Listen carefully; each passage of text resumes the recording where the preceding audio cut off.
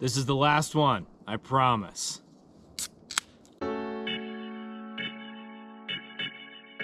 Hey, I'm Ben. I'm a huge fly fisherman, and in today's video, we're gonna milk this stereotype thing one more time. If you haven't seen the other videos, you might wanna go back and watch those first. Today, we'll be talking about some of the types of fishing and fishermen that you'll meet in various parts of the United States. And just like the other videos, if I don't mention your area, you don't need to leave a comment saying that I forgot about you. I didn't forget about you. I have access to a list of all 50 states, and I consulted that list before I made this video. If I don't talk about your fishery, it's because no one cares. Get over it. Let's start in California. That's a big one, so we'll break it down into smaller parts. Northern California. Your rivers are super tough to wade and don't have any fish, so you hop in your Tesla and drive to Idaho to fish. Or if you're smart, you're on the Sac or out in the Delta fishing topwater. Moving down, Eastern Sierras, the ancestral home of water theft in the West. You do have a couple trout streams that haven't dried up yet, but they aren't that great, and you should probably just be carp fishing instead. Once you get up into the Sierras, of course you have golden trout. Neat fish, but you don't get any extra cred for catching them. You're not special. Oh, you walked a few miles uphill and caught a six inch fish? How about Southern California? It seems like there's a movie that comes out every other year about some young anglers pioneering carp fishing in the LA River. Meanwhile, that's been a thing for at least 30 years, probably a lot longer. Oh, you have trout fishing too? Yeah, we all know about Deep Creek. We all know that it sucks. And then there's the Corbina fishermen. If you think steelhead guys are the most pretentious fly fishermen out there, you should meet a Corbina guy. You could learn a lot from him because he's way cooler than you. Now let's move over to Arizona. Yeah, I didn't believe it at first either, but there is fly fishing in Arizona. The most well-known fishery is probably Lee's Ferry. You can get a bunch of 12-inch rainbows, but you're kind of hosed if you don't have a boat with a motor. You can also collect a bounty by killing a brown trout and saving a sucker. Arizona also has about seven Gila trout that you and your friends can take turns catching, but when I think of fly fishing in Arizona, I think of neighborhood ponds. Skinny bass, grass carp, and maybe a koi if you find the right place. Honestly, you're just lucky you can fish in Arizona at all. Next up, Nevada.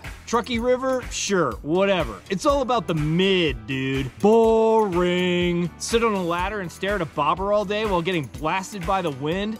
No thank you. Oh, I can catch a big one? So what? I don't have anything to prove to anyone. Kudos to the fisheries managers though. Lahontan's deserve special treatment and they seem like they're doing a good job over there. Now let's scoot on over to Missouri. They claim to be a more sophisticated version of Arkansas, but I disagree. Exhibit A, trout parks. You and a hundred of your mouth breather friends can follow the stocking truck and fill your freezer while wearing your Bass Pro hat unironically. The fishing is better in Arkansas a lot better. Now we'll move up to what's called the driftless. It covers parts of Minnesota, Wisconsin, and Iowa. The driftless anglers were maybe the most vocal about being left out of my other videos. They must be really proud of those 9-inch brown trout. Oh, you have native brook trout too? When's the last time you actually saw one? I guess there's also cows and cow poop. Driftless anglers are the type of guy to own 15 rods and the biggest one is a three weight. I mentioned Wisconsin. Let's do the whole state. I think Wisconsin Wisconsin anglers fish like Michiganders, but they're glad they don't live in the mitten. Trout are kind of an afterthought for these guys because they have so many other cool things to fish for, but they gotta cram it all into a short season because both weeks of summer go by pretty quickly. Let's mosey on down to Louisiana.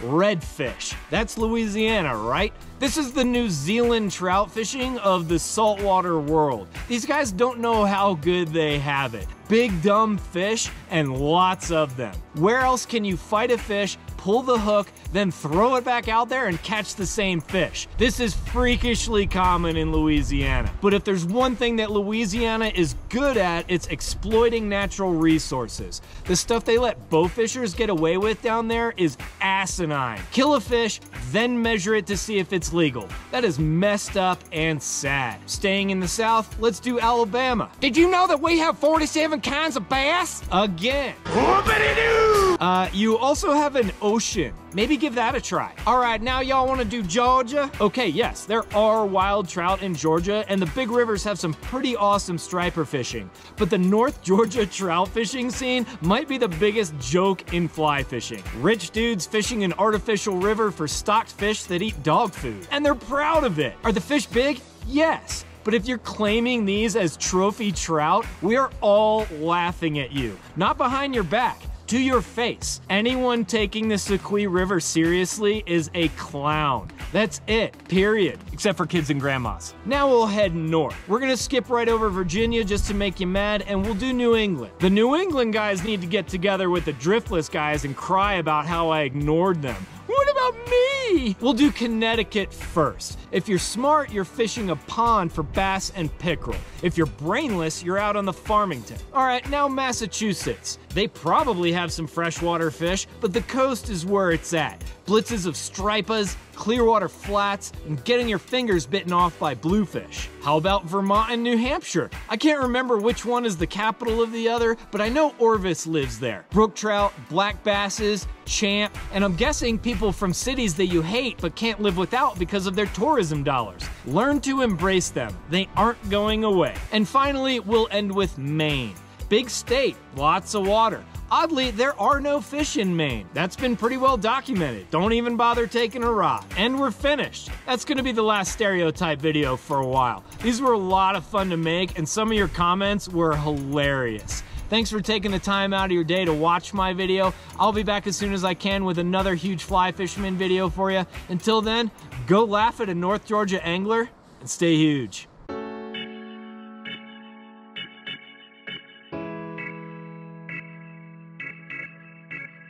Now watch, some guy from North Dakota is gonna complain I didn't talk about fly fishing up there.